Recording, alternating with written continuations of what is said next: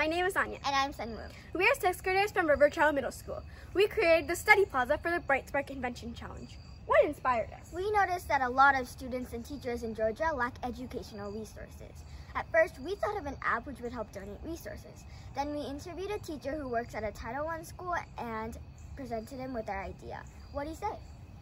He told us that a lot of students get their needs in school, but after school they're on their own. Many don't have food, access to Wi-Fi or internet, or even a place to stay. What ideas did we think of?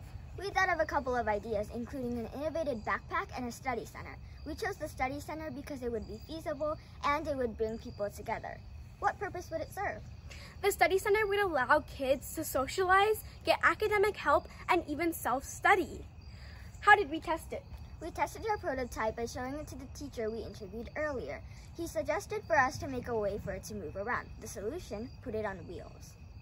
The study plaza. On the first floor, there is a front office and a cafeteria. The second floor has an academic support center for help and conference room to meet. The upper floors provide rooms for studying and a library. So you ask, how is this feasible? Companies such as Coca-Cola and Georgia Power offer grants towards projects for education that we could use. Many college students are looking for jobs. They could run the building and tutor students. We hope the study plaza can be implemented all over the country in communities. Thank, Thank you. you. Hit the like.